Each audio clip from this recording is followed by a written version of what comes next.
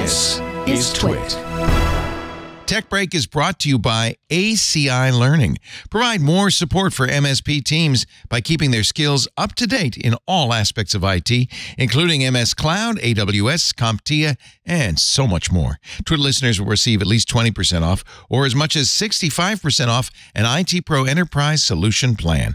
The discount is based on the size of your team when you fill out their form. My favorite feature about the Final Cut on the iPad is the soundtracks tab.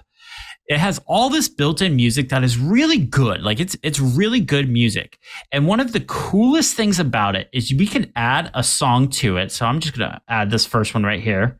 And you can kind of see it's not very long of a clip um, but you can take this clip and unlike any other music track or music service i've ever used you can just drag it and see how if you're watching the video you can see how it's empty. That basically means in the timeline nothing would be playing. There's no audio there. I'm gonna go ahead and release it. Give it just a second here. And now and now, there we go. Okay. It auto fills and auto generates the music track to make it the length that you want it to be. You can make it as short as you want it to be. You can make it as long as you want it to be. And dear listener, I cannot tell you how much time I have spent trying to make a short audio track work for a long clip where you're like trying to find that right beat where to cut and splice the two tracks together. This, you literally just drag it and it figures it out for itself. And uh, you cannot tell at all. It is so unbelievably good. I love this feature in Final Cut. It, it saves me so much time.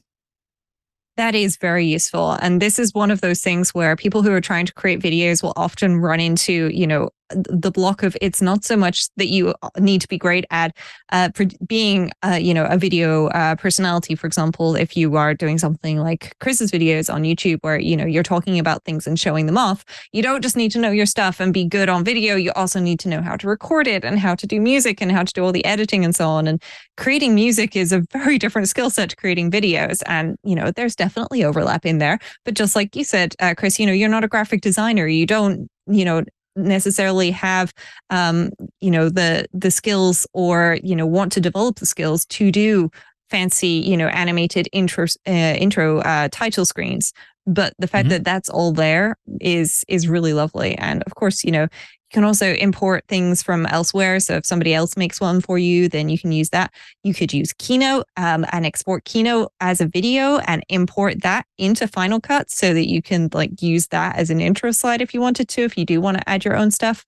And I really love the way that things work as well. You know, you can also, I think you can even directly record video into Final Cut on your iPad, right? Using the iPad yes. uh, uh, cameras. Yeah, so there are some features in Final Cut for iPad that are specific to that. So I'm going to go ahead and click on the video camera icon up at the top, and hopefully this doesn't crash. Okay, hey, it worked. And you can see the backside of my desk uh, because that's where it is. But you can film all sorts of different stuff in here, and this will go directly into your project. Uh, you have setting features, you have autofocus controls, manual focus, um, you have uh, uh, frame rate controls, you have resolution controls, exposure, all sorts of different things. You can even film slow mo clips right in here as well. So you can film it without even going into the camera app. Uh, now I'm going to switch that. Now, another iPad specific feature is this scrub wheel right here. This is really cool for those that are editing without a keyboard and mouse or trackpad. This feature right here brings up this little um, scrub option and Final Cut Crash. This is why you don't put developer betas on your iPads, people. Mm-hmm. All right, there we go. Now we're back into it. So, uh, bringing up the scrub wheel. Hopefully, it won't crash this time. And you there can scrub through your timeline. You can do it kind of slowly, or you can do it really fast. And you can scrub to the point that you want uh, anywhere which is really cool. Like I love this feature. I, I really want Apple to make a physical scrub wheel so I can pair it with the Mac or the iPad and like have a physical that I think that would be really cool. But uh, but when you can also take a clip, if you have a clip selected, you will see this option appears down here where this one selected, this will scrub the timeline header. This right here, the nut, if you switch to nudge, this will move the clip. So if you you can move it just by a couple frames, or you can move it really fast, or it moves it by seconds or minutes. Uh, but yeah, you can nudge clips so that way you can get them precisely where you want, which is really nice when you're when you're in like a touch mode in Final Cut because we have these big old meaty finger hands.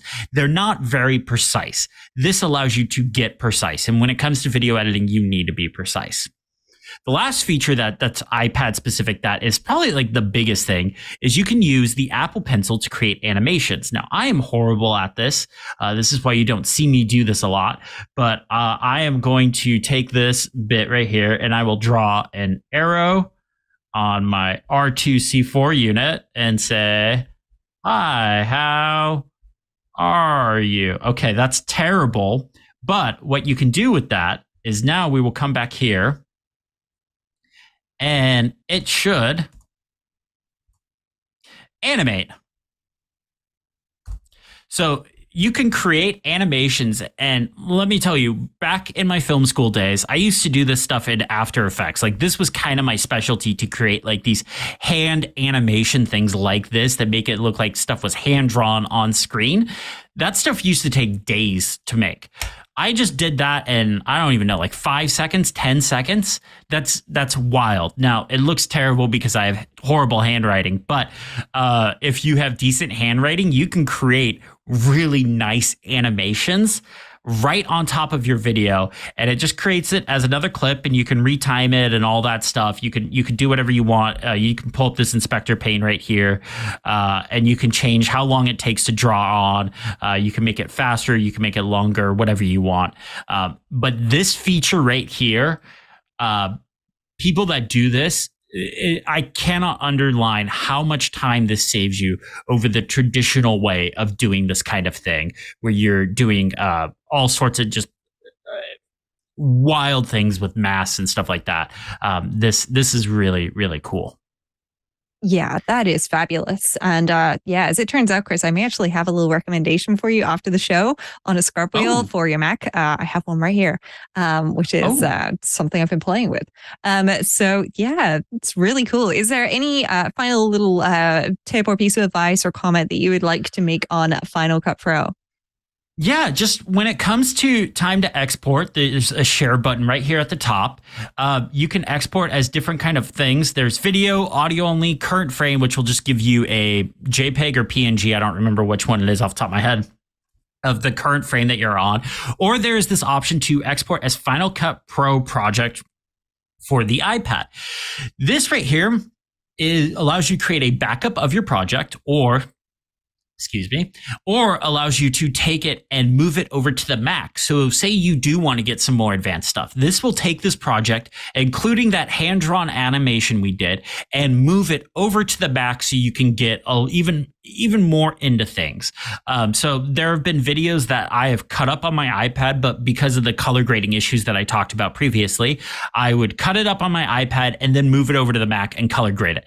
Now, unfortunately, there isn't a way first party wise to take a Final Cut project from the Mac and move it back to the iPad. There is a open source project going around that that does allow you to do this, but I've had a few issues with it, so I wouldn't rely on it. But uh, when it comes time to export, most of the stuff that you're going to do is you're just going to select video.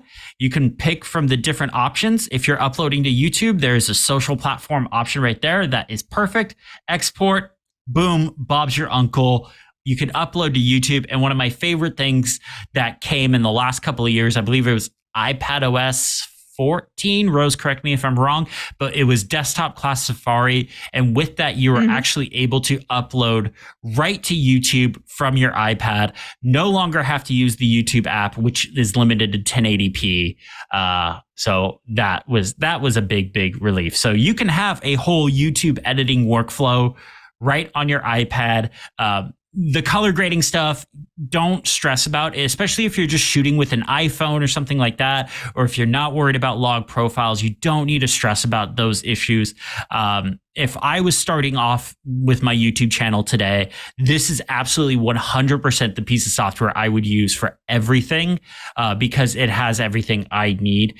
Uh, i've just grown and, and done some more I don't want to say advanced stuff, but I've done some stuff that's not exactly necessary, but I did it anyway. So uh, that this this really allows me to um, push my push my what I can do. Um, but because Final Cut is on the iPad now, and with some changes in iPad OS 17 and iPad OS 16, I no longer need a MacBook. I sold my MacBook Pro. The iPad is my only portable computer now. It's what I work from every single day. And then when I have big video projects, I fall back to a Mac Studio.